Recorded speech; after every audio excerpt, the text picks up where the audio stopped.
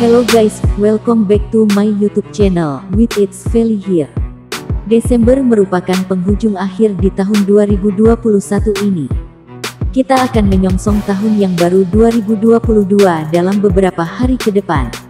Tahun yang penuh dengan harapan baru, serta resolusi diri yang perlu kita wujudkan. Begitu juga halnya dengan para gamer yang menantikan game-game terbaru di tahun 2022 yang akan dirilis oleh beberapa developer untuk dapat dimainkan. Game yang diharapkan dengan resolusi dan revolusi terbaru, baik dari segi visual, teknologi, serta pengalaman di dalam memainkan game tersebut.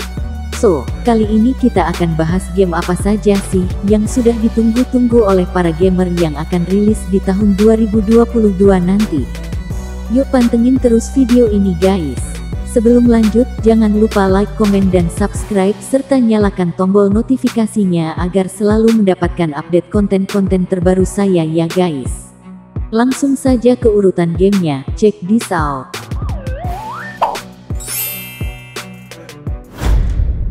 Game pertama, Stalker 2. Stalker 2 merupakan game yang dikembangkan oleh GSC Game World setelah beberapa tahun, mengalami permasalahan dari sisi developer dan sempat mengalami reschedule.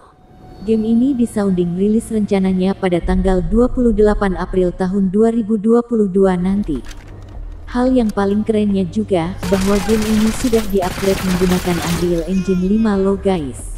Game ini hanya akan dirilis pada platform Microsoft Windows, Xbox Series X dan Xbox Series S.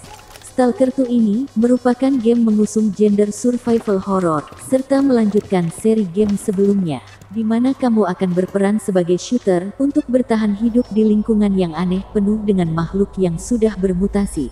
Nah, bagi kamu yang suka banget main game yang memacu adrenalin, cocok banget nih mainin game Stalker 2 ini.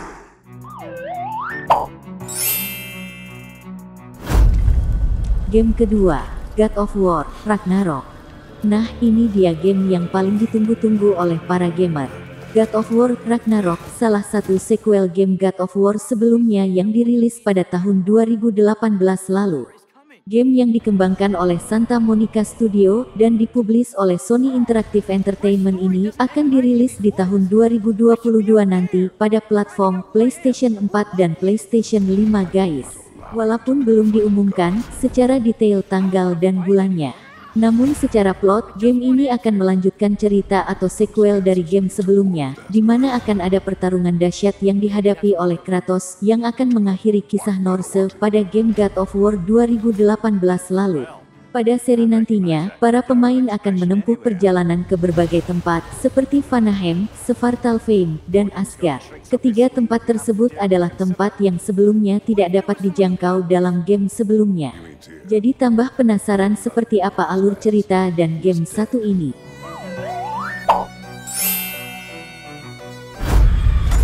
Game ketiga, Dead Space Remake. Dead Space Remake merupakan game pembaruan yang dikembangkan oleh Motive Studios dan dipublish oleh Electronic Arts ini akan merilis game ini di tahun 2022 nanti. Di mana kamu dapat mainkan pada platform Microsoft Windows, PlayStation 5, Xbox Series X dan Xbox Series S. Game ini akan diperbaharui ulang semuanya secara detail, mulai dari kostum, resolusi tekstur sehingga game pun akan terlihat semakin lebih detail. Selain itu pesawat luar angkasa yang akan menjadi latar dari game satu ini. Game ini masih mempertahankan sinopsis yang sama, di mana kita dibawa pada abad ke-26 mengikuti cerita Insinyur Isaac Clarke dalam misinya untuk memperbaiki USG Ishimura sebuah pesawat ruang angkasa pertambangan yang telah dikuasai oleh makhluk aneh dan buas yang dikenal sebagai necromorph.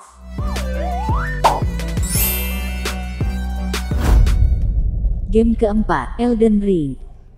Elden Ring merupakan game dengan gender petualangan dan masuk dalam kategori game RPG ini sangat ditunggu-tunggu oleh para pecinta game. Game yang dikembangkan oleh From Software serta dipublis oleh Bandai Namco Entertainment dan From Software ini akan rilis pada tanggal 25 Januari tahun 2022 nanti. Lagi sebulan lo guys dan tersedia di platform PlayStation 4, PlayStation 5, Microsoft Windows, Xbox One dan Xbox Series X serta Xbox Series S. Sinopsis dari game ini menceritakan negeri di Land Between setelah dihancurkannya Elden Ring dan menghamburkan pecahannya yang bernama Rune Grid ke seluruh penjuru dunia. Pemain sebagai Tarnish akan melintasi dan menjelajah dunia untuk menemukan semua pecahan Rune Grid tersebut kemudian memulihkan kembali Elden Ring serta menjadi Elden Lord di negeri tersebut.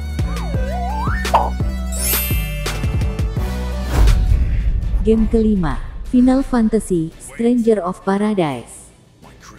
Final Fantasy, Stranger of Paradise juga merupakan game bergender petualangan ini akan menampilkan visual grafis yang lebih baik serta beberapa misi seru. Game yang dikembangkan oleh tim Ninja serta dipublish oleh Square Enix ini direncanakan rilis pada tanggal 18 Maret tahun 2022 nanti. Kamu bisa memainkan game ini di platform PlayStation 4, PlayStation 5, Microsoft Windows, Xbox One, Xbox Series X serta Xbox Series S. Di dalam permainan, kamu akan menjelajahi lingkungan dan melawan monster dengan menggunakan karakter Jack Garland yang memiliki kekuatan fisik serta magis.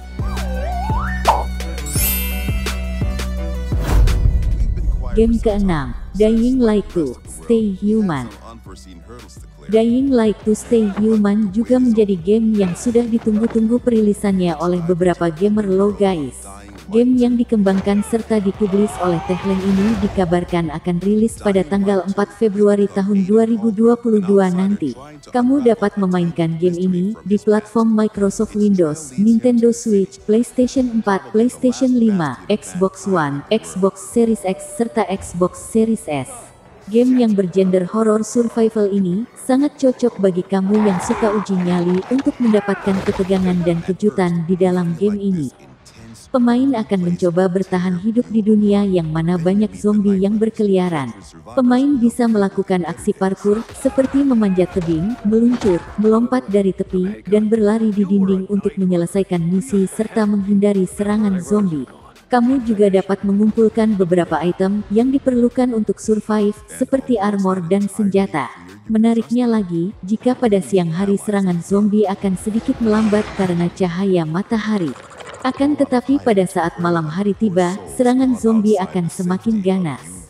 Jadi siap-siap kamu mengalami histeria di dalam game ini.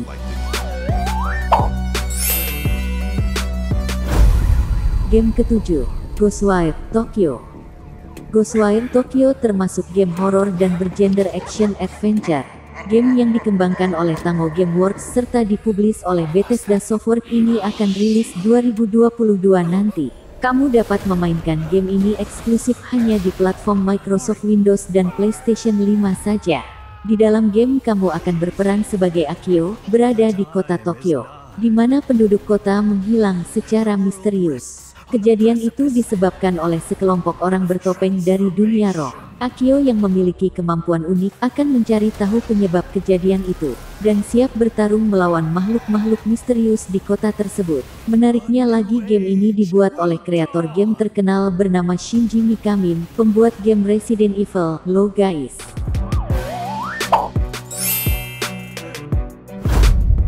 Game ke-8, Horizon Forbidden West. Horizon Forbidden West adalah salah satu game yang menghadirkan petualangan seru untuk para playernya nih guys. Game yang dikembangkan oleh Guerrilla Games serta dipublish oleh Sony Interactive Entertainment ini rencana rilis pada tanggal 18 Februari tahun 2022 nanti pada platform PlayStation 4 dan PlayStation 5. Game ini merupakan game action RPG yang mengisahkan tentang petualangan Aloy untuk mengungkap sebuah misteri bernama Forbidden West di mana misteri tersebut ada sangkutannya dengan kondisi dunia yang terserang wabah misterius, sehingga yang terinfeksi menjadi mati. Wah sepertinya seru sekali petualangan di game ini, kamu harus siap-siap untuk memainkan game ini.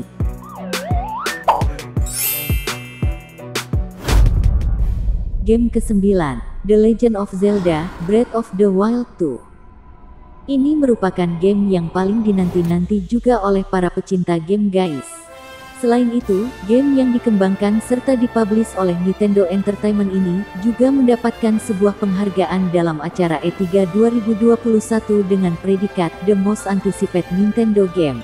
Pihak Nintendo juga mengungkapkan bahwa di dalam game ini menghadirkan konten yang lebih banyak lagi serta map yang lebih luas dibandingkan game yang sebelumnya. Kamu dapat memainkan game ini hanya di Nintendo Switch saja loh guys. The Legend of Zelda merupakan game petualangan berlatar dunia terbuka di mana game yang melanjutkan sequel sebelumnya. Pemain akan ditugaskan untuk menjelajahi kerajaan Hyrule secara bebas. Game yang penuh sistem matematika dan fisika alam ini akan membuat kamu perlu berpikir item apa yang diperlukan di setiap situasi dan menyelesaikan tugas dengan cara kita sendiri. Secara tidak langsung kita dapat menyelesaikan game ini dengan cara berbeda-beda pada setiap pemainnya. Game ke-10, Starfield. Starfield bergender action role play game ini. Game yang dikembangkan oleh Bethesda Game bersama kreator Fallout 4 ini sudah dikerjakan sejak lama, kurang lebih selama 25 tahun lo guys. Lama bener di dalam pembuatan game ini ya.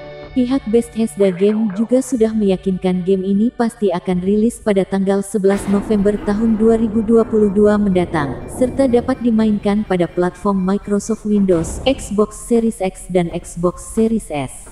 Game ini akan membawa kamu ke 50 tahun cahaya atau sekitar tahun 2310 yang mana terdapat dua fraksi terlibat perang koloni berdarah antara koloni serikat dengan kolektif Freestar. Permainan dimulai setelah 20 tahun dari terjadinya perang tersebut dan dunia sudah dalam keadaan damai. Pemain akan dapat menyesuaikan karakter, yang mana karakter merupakan anggota Constellation, sebuah organisasi penjelajah ruang angkasa. Game yang digadang-gadang akan membawa kamu ke dalam pengalaman generasi baru di masa depan dengan keadaan dunia di luar angkasa. Bagi kamu yang suka membayangkan masa depan seperti apa, wajib memainkan game ini guys. Nah itu dia 10 game yang perlu kalian tunggu di tahun 2022 nanti. Para gamer kira-kira yang mana kalian tunggu-tunggu untuk ingin dimainkan? Tulis di kolom komentar ya. Support terus channel ini, dengan like video ini, komen dan subscribe. Jangan lupa untuk tekan tombol loncengnya untuk dapat notifikasi video terbaru saya. Bantu share video ini di sosial media kamu, agar teman-temanmu mengetahui game keren yang akan rilis di tahun 2022 nanti. Sampai jumpa pada video konten selanjutnya, terima kasih.